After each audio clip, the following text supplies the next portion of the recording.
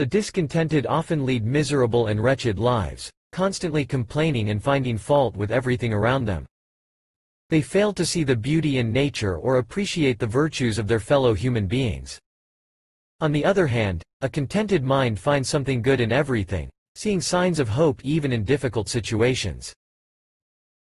The spirit of discontent is not only unfortunate but also harmful.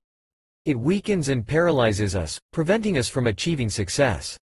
To accomplish anything significant, we must focus our minds on the task at hand and avoid getting lost in complaints and envy.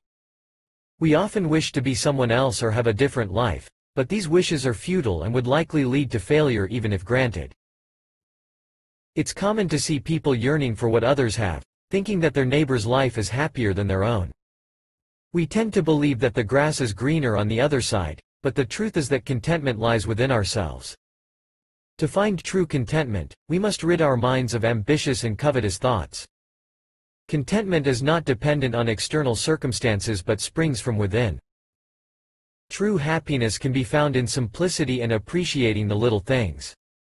The poor, yet contented, man living in a humble cottage might enjoy more tranquility and joy than those surrounded by luxury and ambition.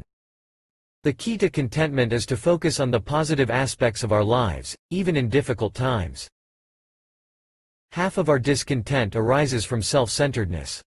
Instead of comparing ourselves to others, we should be grateful for what we have and consider those less fortunate.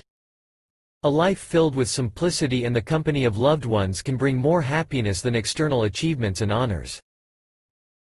Contentment doesn't mean complacency or lack of ambition. It's about finding peace in our current situation while striving for improvement. If circumstances are beyond our control, it is wise to accept them and find patience. However, if we can improve our condition, contentment doesn't discourage us from making the effort to progress. True contentment is like gold, valued and respected by wise individuals. But beware of a false sense of satisfaction that keeps you from striving for better. Embrace contentment in your heart while continuing to pursue growth and improvement in life. Let us cherish the virtue of contentment, find joy in simple pleasures, and accept our present circumstances with gratitude. And if the opportunity for improvement comes knocking, let's seize it with determination and courage.